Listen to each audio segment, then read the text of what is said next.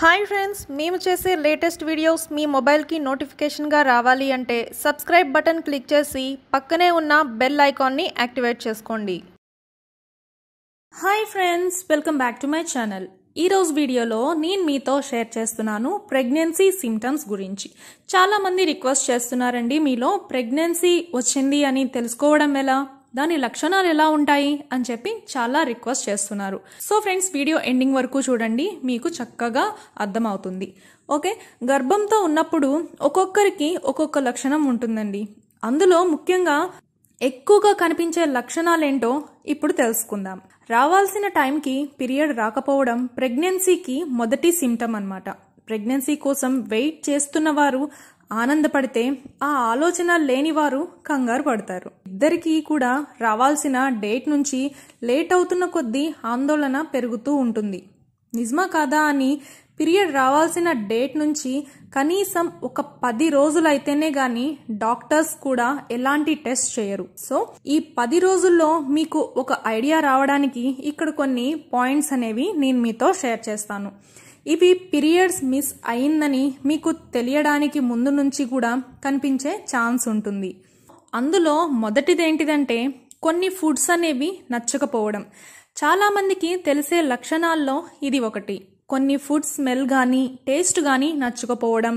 నచ్చకపోవడమే కాకుండా తినలేకపోవడం తింటే వికారం అనిపించడం ప్రెగ్నెన్సీ టైంలో ఈస్ట్రోజన్ హార్మోన్ కూడా బాగా పనిచేస్తుంది. అందువల్ల బాగా ఎఫెక్ట్ అయ్యేది స్మెల్. వీటితో పాటు బ్లోటింగ్ వికారం వాంతులు వంటివి కూడా ఉంటే ప్రెగ్నెన్సీ కన్ఫర్మ్ అయ్యే ఛాన్స్ ఎక్కువగా ఉంటుంది. బాగా ఎక్కువ ఆకలి వేస్తున్నా అసలు ఆకలి వేయకున్నా కూడా ఈ ప్రెగ్నెన్సీగా మనం గుర్తించాలి. తర్వాత క్రాంప్స్. క్రాంప్స్ కడుపులో నొప్పి వంటివి పీరియడ్కి ముందు సాధారణంగా అందరూ అనుభవించేదే. అయితే ఇదే నొప్పి లేదా క్రామ్స్ ప్రెగ్నెన్సీకి కూడా సూచనగా కావచ్చు. యుటరస్లో పిండం సెటిల్ అయ్యేటప్పుడు కొంతమంది ఈ నొప్పిని ఫేస్ చేస్తారు. అందరికీ ఇలా జరుగుతుందని చెప్పలేం కానీ దీన్ని ఒక పాజిటివ్నెస్గా తీసుకోవచ్చు. నెక్స్ట్ వచ్చేసి హార్మోనల్ చేంజెస్. పిఎంఎస్కి ప్రెగ్నెన్సీకి లక్షణాలు ఒకేలా ఉంటాయి. రెండిటికి హార్మోనల్ చేంజెస్ ఉంటాయి. కాబట్టి లక్షణాలు కూడా ఒకేలా ఉంటాయి. అయితే ఒక చిన్న తేడా ఉంది.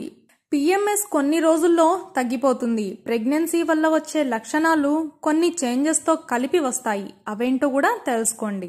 బ్రెస్ట్ టెండర్గా తాకితే నొప్పిగా అనిపించడం ఇది పిఎంఎస్ లక్షణం అనమాట అలాగే ఇది ప్రెగ్నెన్సీ లక్షణం కూడా.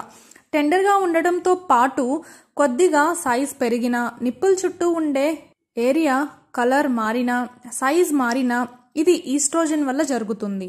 నెలలు గడుస్తున్న కొద్దీ బ్రెస్ట్ బాగా సెన్సిటివ్గా కూడా మారుతుంది. సో నెక్స్ట్ సిమ్టమ్ ఏంటంటే ఎక్కువ సార్లు యూరినేషన్ అవ్వడం.